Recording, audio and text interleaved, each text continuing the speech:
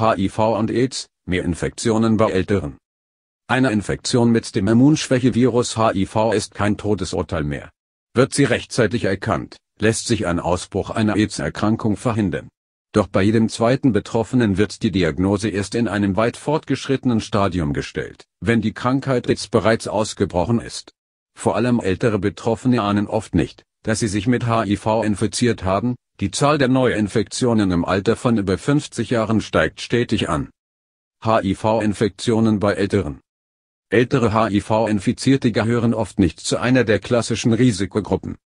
Homosexuelle Männer Drogenabhängige Frauen, die ungeschützten Geschlechtsverkehr mit häufig wechselnden Sexualpartnern haben. Die HIV-Infektion fällt bei älteren Betroffenen häufig durch das Auftreten von Folgeerkrankungen wie Lungenentzündungen auf. Wann sie sich angesteckt haben, ist oft kaum noch nachzuvollziehen. Ein möglicher Grund für den Anstieg der HIV-Infektionen in höherem Lebensalter, Schäfersex spielt bei vielen sexuell aktiven Menschen nach den Wechseljahren keine große Rolle mehr, weil das Thema Verhütung an Bedeutung verliert. HIV-Infektion, unterschätzte Gefahr. Pro Jahr stecken sich in Deutschland mehr als 3000 Menschen mit dem Virus an. Vor allem außerhalb der klassischen Risikogruppen ist die Infektionsrate gestiegen. Experten schätzen, dass etwa 13.000 Betroffene gar nicht wissen, dass sie infiziert sind. Sie wiegen sich in einer trügerischen Sicherheit und kommen gar nicht auf die Idee, sich testen zu lassen. Auch viele Ärzte unterschätzen die Gefahr einer HIV-Infektion bei älteren Menschen und raten deshalb nur selten zu einem Test. Frühzeitiger HIV-Test ist wichtig. Die Deutsche AIDS-Hilfe hat eine Aufklärungskampagne Kein AIDS für alle gestartet. Sie soll darüber aufklären, wie wichtig es ist, eine HIV-Infektion zu erkennen, bevor die AIDS-Krankheit ausbricht. Deshalb sollte immer ein HIV-Test durchgeführt werden, wenn eine Infektion nicht auszuschließen ist so wird HIV übertragen. Das humane Immundefizienzvirus, HIV, wird über Blut und andere Körperflüssigkeiten übertragen, vor allem Sperma, Scheidensekret und Analsekret. Häufigster Übertragungsweg ist ungeschützter Sexualverkehr.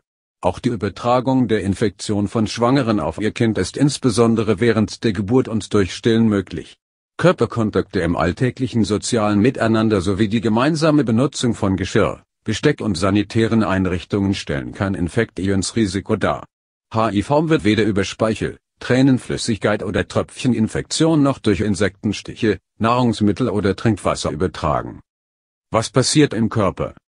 Die Viren vermehren sich in speziellen Zellen des Blutes, den T-Helferzellen. Sie gehören zur Gruppe der Lymphozyten, die für die zelluläre Infektabwehr zuständig sind. Dazu bauen die Viren ihr Erbmaterial in das der Zelle ein und zwingen die Zelle dazu, Viren zu produzieren. Nachdem sich die Viren in den Zellen vermehrt haben, sterben diese ab. Die Folge ist eine ausgeprägte und unwiderrufliche Störung der zellulären Immunabwehr. Erste Symptome treten in der Regel zwei bis drei Wochen nach einer Infektion auf und werden meist als Grippella-Infekt verkannt.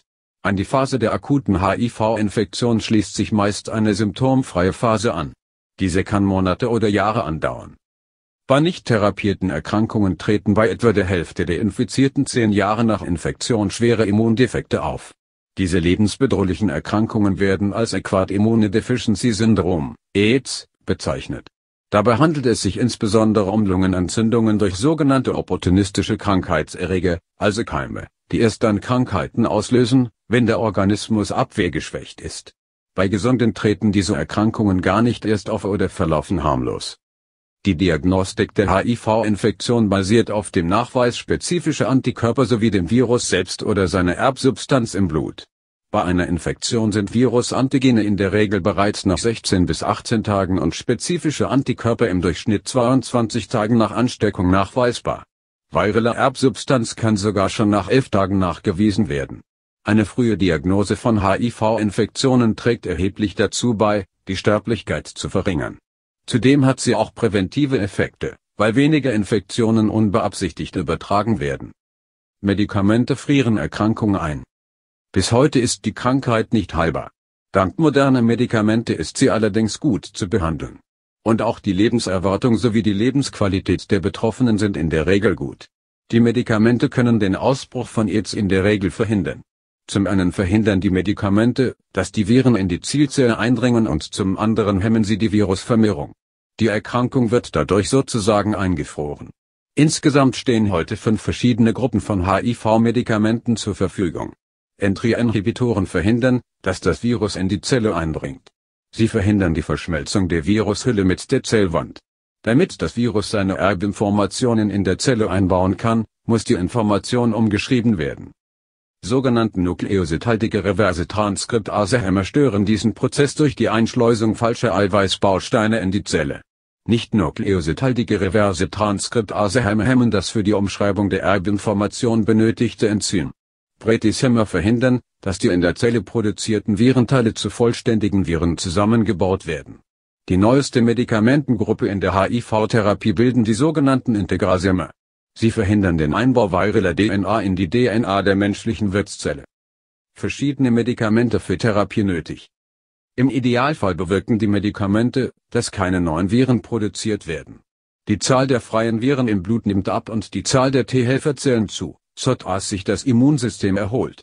In der Regel besteht die Therapie aus einer Kombination von verschiedenen Medikamenten, da die Viren gegen einzelne Medikamente rasch Resistenzen entwickeln.